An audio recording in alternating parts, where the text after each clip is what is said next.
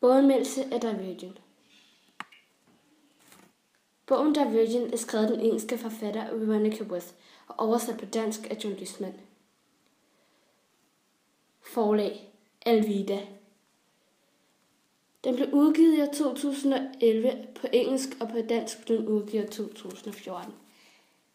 Og jeg vil sige, at det er en science fiction. Referat. Tschüss lever i en fremtidsverden, hvor samfundet er delt i fem fraktioner. Puritanerne, de uselviske, Sandro, de ærlige, pacifisterne, de fredelige, intelligensia, de lærte, og skytsenglene, de frygtløse. Som 16-årig skal hun vælge, hvilken fraktion hun hører til. Hendes valg vil skille hende fra venner, familie og hendes samfund. Det er et valg for livet.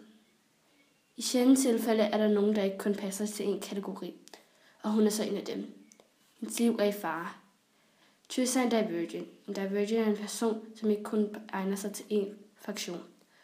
Og hun er i fare, fordi en dame for intelligensia, som også er politiker, synes det er unfair.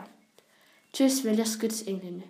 Gennem introduktionsprogrammet er der mange udfordringer, men Tris klarer sig.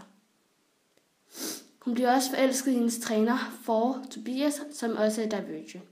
Dem, som er politikere for intelligens, fører krig mod puritanerne og får skytsenglene til at hjælpe ved hjælp af en sprøjte, får dem til at dræbe. Men de tror bare, at det går i søvne. Men da Triss Divergent, bliver hun ikke påvirket.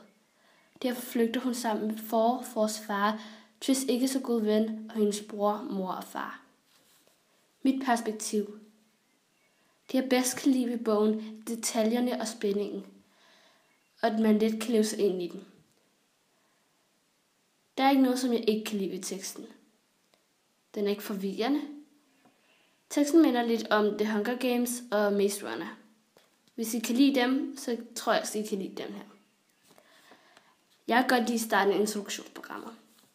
Min vurdering. Jeg vil anbefale den for alderen 12-30 år, fordi den er lidt voldelig, og der er nogle ord, man først lærer, når man er ældre. Jeg har set filmen, det er min yndlingsfilm, men bogen er selvfølgelig bedre. Jeg giver den 5 ud af 5 stjerner.